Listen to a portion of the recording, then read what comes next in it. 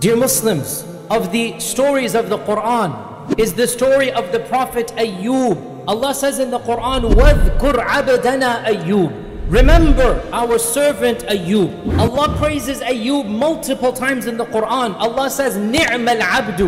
What a great worshipper was Ayub. Allah says, Innahu awab. He would constantly turn back to Allah subhanahu wa ta'ala. After mentioning the story of Ayub, Allah says that in this is dhikra li ulil albab. In the story of Ayub are lessons, morals for the people of reflection and intelligence. Prophet Ayub is of course one of the famous prophets of the children of Israel, Bani Israel. And the Prophet Ayub was blessed not only with prophecy, but with wealth and health and family and every blessing of this world. Ayub alayhi salam, Allah blessed him with a very large family and Allah blessed him with immense amount of wealth. And his wife was a righteous lady and she was of the descendants of the Prophet Yusuf and the two of them worshipped Allah subhanahu wa ta'ala and Allah gave them deen and dunya. But Allah wanted to make Prophet Ayub a role model for mankind. And for those who are chosen to be role models, they must undergo elements of suffering and pain.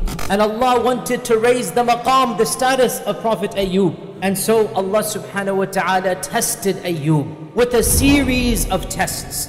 Not only did he lose all of his wealth, because of an accident, he lost all of his children in one night. The roof fell down and all of his children returned to Allah subhanahu wa ta'ala. As if that wasn't difficult enough, Allah then tested him with his health. Ayub was a vibrant young man, handsome, but Allah tested him with something in his health. And slowly his outer appearance changed. And his skin lost its luster until it seemed unseemly to look at. And then an odor began coming from his body. So the people asked him to leave the town. So he lived outside the city on a tent in a bank next to the river. And his loyal wife continued to take care of him. She would be a maidservant and get some money and buy food and continue to take care of Ayub alayhi salam. Until one day she complained to Ayub and she said, for how long are we going to live like this? We used to live with such poshness, with such grandeur. You're a prophet of Allah, do something. Ask Allah to change our situation. The Prophet Ayub asked his wife,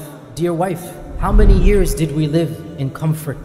How many years did we have wealth and children? How many years were we in blessed times? She counted, she said, 60 years we were in good. So Ayub said, for 60 years, you never complained that Allah was giving, giving, giving. If Allah has chosen for a few years to take away, why should we complain now? Allah is the best of planners and Allah has a better plan for us. And things became more dire for Ayub alayhi salam. His wife was not able to earn income and the Quran references that his wife perhaps tempted Ayub to do something that was not accordance with Islam. Some say that shaitan came to his wife and shaitan said, if you do something to me, then I will give Ayub back his life. His wife then made this offer to Ayub. The shaitan came to me said, if you do this and that, you'll get your life, your health, your wealth back. And Ayub alayhi salam got so angry that he said, if Allah ever gives me strength, then I will have to discipline you. 100 times I'm going to discipline you. Right now I'm too weak to do anything. But because you dared bring up the name of shaitan, I swear by Allah I will have to do this if I ever recover my life.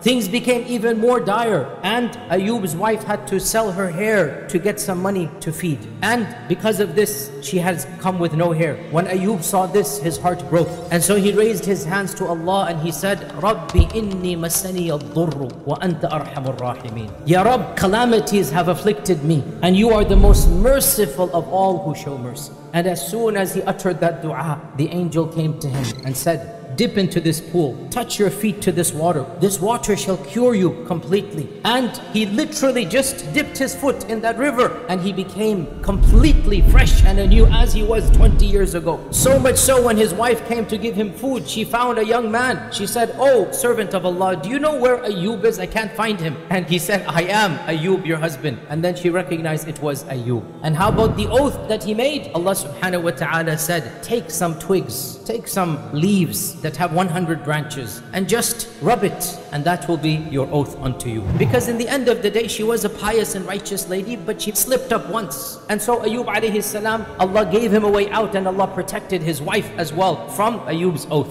We need to understand that being tested and undergoing problems and having traumatic experiences in health, in wealth, in our lives, in our family relationships. This is not a sign that Allah is displeased with us. If anything, it is a sign that Allah Azza wa Jal wants to cleanse you of mistakes to raise your ranks higher. And Allah knows I'm not worthy of that status. So, by this tragedy, by this calamity, by this anxiety, by this grief, some sins I might have committed that are impeding my journey to Allah. Some sins have been gotten rid of. And when those sins are gotten rid of, I now have the opportunity to rise higher than I was. Our Prophet ﷺ said, when Allah loves someone, He tests him. And the more Allah loves that person, the more he shall be tested. Do not ever think, brothers and sisters, that a test that you're facing is an indication that Allah does not love you. Allah says in the Quran, Inna wajadnahu sabira. We found Ayub patient.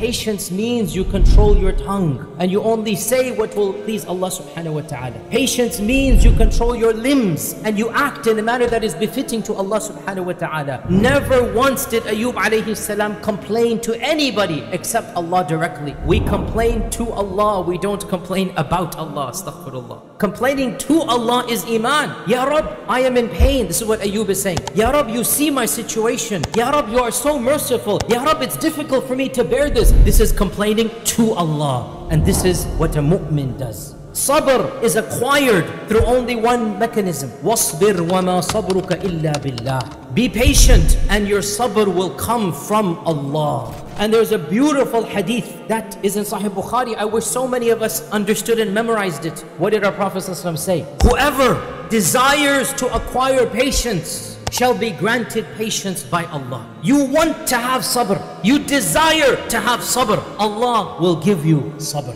Just ask Allah, oh Allah, give me sabr, and you will get it. Increase your dua in order to battle the stress that you're facing. This world and this abode is not the abode of ultimate peace. It's not the abode of perpetual rizq and wealth and blessings. No, that is the next life ahead. This is not the abode of ultimate happiness. Find happiness in the next life and you will find it when you turn to Allah Azza wa Jal and overcome the problems of this world. This world is the abode of tests. The next world is the abode of perpetual bliss. We don't want tests. We don't want trials. We don't want to be tested like Ayub alayhi salam. Ayub did not want to be tested like this. But when Allah chooses you for a test, then realize that Allah has chosen you for a divine wisdom. So even though you don't want the test, when Allah has chosen you, you rise up and accept the challenge and you ask Allah that Allah Azza wa blesses you with the ability to pass that test. May Allah subhanahu wa ta'ala bless me and you with and through the Quran and may He make us of those who His verses they understand and applies halal and haram throughout our lifespan. I ask Allah's forgiveness. You as well ask Him for He is the Ghafoor and the Rahman.